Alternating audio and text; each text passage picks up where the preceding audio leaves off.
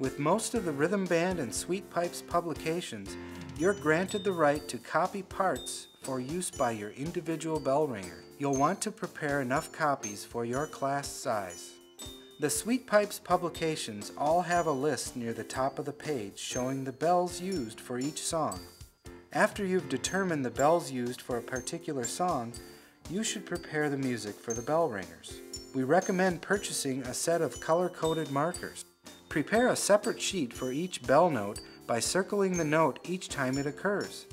You'll want to use the marker that matches the bell. Although colored markers are not necessary, it helps to keep the songs organized. In some cases, you'll want to have one bell ringer play more than one bell. Using colored markers will help allow the bell ringers to switch between the bells more easily. You'll want to set up the bell ringers in a way that is comfortable for you to direct. Some directors prefer to set the bells up from lowest to highest pitch, while others prefer to set them up in the order that the notes occur. Many of these CDs contain both a practice track and a performance track. The practice tracks include the bells so that your ringers can hear the melody played before trying it themselves. The performance tracks do not have the melody, allowing your bell ringers to be the stars. The first few times through the song, you may have to point to the bell ringers when it is their turn.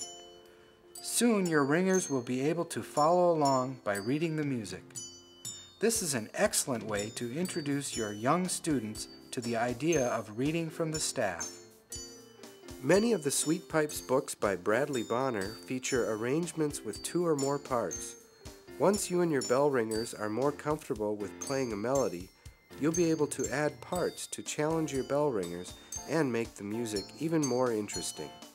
If you are using desk bells, you can color code the music so that a single player could ring each of the bells needed for an entire melody. Now let's switch gears and take a closer look at the chord